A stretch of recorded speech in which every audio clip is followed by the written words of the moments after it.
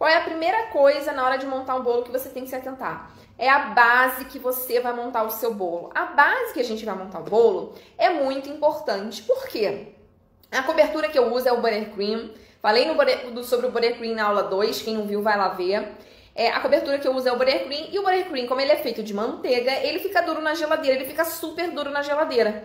E a gente bota na geladeira para fazer o transporte, né? Depois que a gente tira da geladeira ele super duro, porque manteiga fica dura na geladeira, se a base que a gente montou o bolo não for uma base rígida e forte, ela vai balançar e isso pode fazer a sua cobertura rachar. E rachando é um prato cheio para você ter é, o recheio vazando, é um prato cheio para você ter problema na estrutura do seu bolo, tá? Então, o ponto número um para você ter um bolo seguro, que não vai desabar, que vai ter, vai estar tá tudo certo, vai chegar lindo lá na mesa do seu cliente, é a base que você monta o seu bolo. E essa base eu indico para vocês que você faça o teste, tá?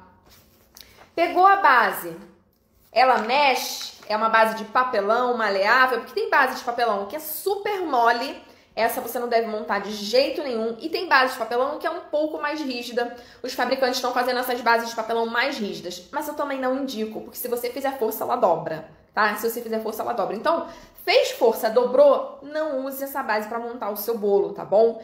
É, tem base no mercado de MDF de 3 milímetros, 6 milímetros e 1 centímetro. São as bases de MDF que eu indico para vocês. Mas mesmo de 3 milímetros, ela é super fininha. Se você dobrar, ela não quebra, não dobra, né?